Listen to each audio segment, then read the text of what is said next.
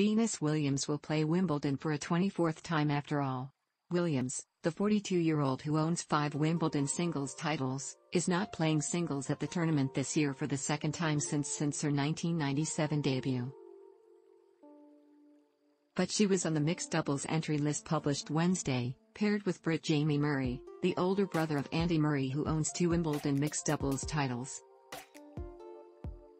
Williams last played a competitive match last August, then withdrew before the US Open with a leg injury.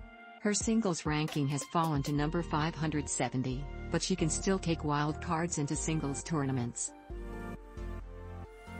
In 2019, Williams played mixed doubles at a Grand Slam for the first time in 13 years, teaming with Andy Murray for Murray's return to Wimbledon following hip surgery. Last year, she played with Nick Kyrgios at Wimbledon. Both times, she lost in the second round. Williams owns two major mixed doubles titles, winning the 1998 Australian Open and 1998 French Open with Justin Gimelstob.